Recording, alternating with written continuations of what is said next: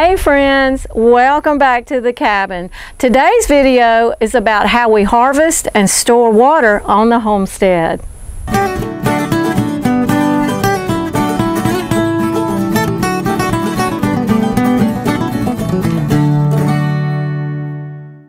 Okay, so what I'm going to show you here, this is our front porch. You see we have a tin roof.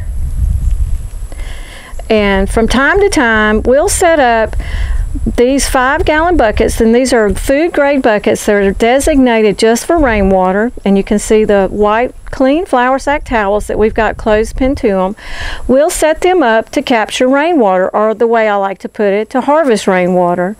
But before we do that, one or two things. Now, if it's going to be a long, good rainy day, we'll allow the rain to clean the roof off first before we set the buckets out so that we, we miss a lot of the debris and the dirt and, and just have a cleaner product uh, before we even get started good.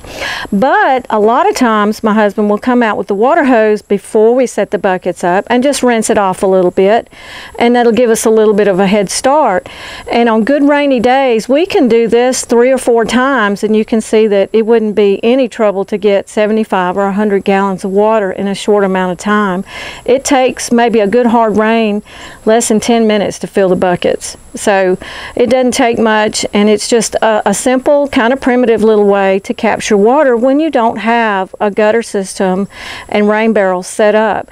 Now this water will go into the shop into food grade uh, 55 gallon drums and be filtered again or strained again I should say and be ready to use mainly for my soap making now but it's a backup in an emergency.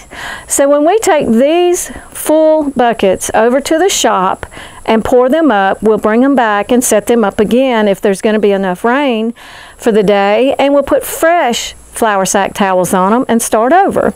And you might be wondering how in the world do we tote these heavy five gallon buckets over to the shop there's the transportation. Makes the work easy.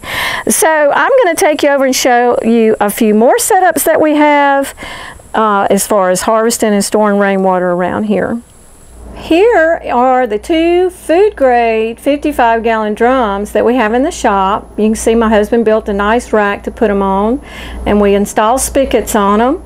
And what we do is when we catch the rainwater off the front porch roof, in the five gallon buckets. We bring it in here and we actually filter it through that funnel with another uh, straining rag of some sort, usually a smaller uh, flour sack towel. And you can see how we just, we keep it here. This is, I use it mainly for soap, but it's available for an emergency situation or whatever that we find a need to water the animals or something if, if we find ourselves in that, in that um, off-grid situation by chance. But before we would open the spigot and allow it to pour into that bucket, we would actually, the first little bit would come out, we'd allow it to go into the cup here because sometimes with a brass spigot there's a little bit of residue and you want to rinse that out. And once it runs clear, then you can put it in your bucket. Okay, my husband's cheap advertising there. actually that's free as advertisement right there. So this is actually our emergency supply of water.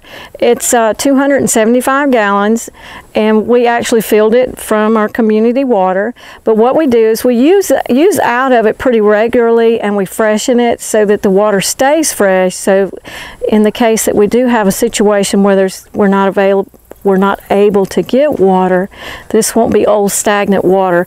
Now under the tarp, it actually has a screen over it and is, it is able to ventilate, so it won't get stagnant that way, but like I said, we also use it and freshen it from time to time, and so that's just another backup system that we have here on the homestead. So if you look here, this is my barn roof and you see there's my loft roof as well. So you can see that quite a large volume of water can fall off of this roof. Now we don't have gutter systems.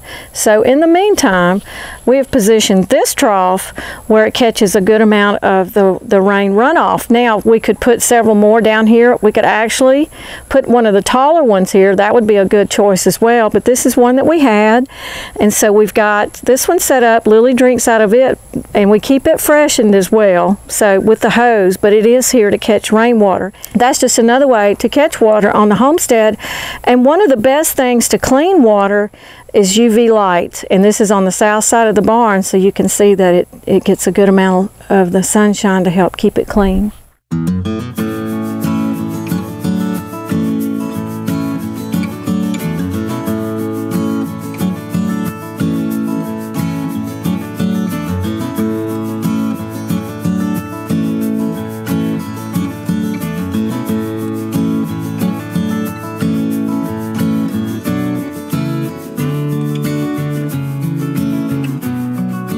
So we're up in the barn loft and you see that here's two more 55 gallon food grade drums that we're going to use for water. Now there's no water in them yet, but what we'll do is we will fill them with our community water and we'll be able, because they're up in the loft, be able to easily siphon the water to put into the, uh, the animal drinking containers wherever they are down in the stalls or whatever.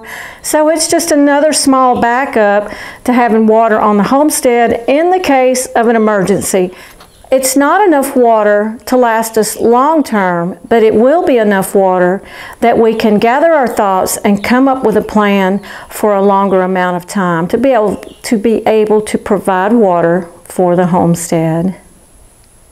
Well, I hope you enjoyed this video and I hope you got some value out of it. And I also hope that it gave you some ideas on how that you may can harvest and store water where you are, homestead where you're at, and it'll help you be a little bit better prepared in case of an unexpected emergency or disaster.